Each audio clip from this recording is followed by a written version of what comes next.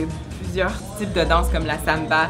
On fait aussi des danses plus acrobatiques comme le frevo qui est une danse de parapluie. On fait plusieurs événements, euh, que ce soit des parties euh, d'anniversaire, euh, ça fait des mariages aussi.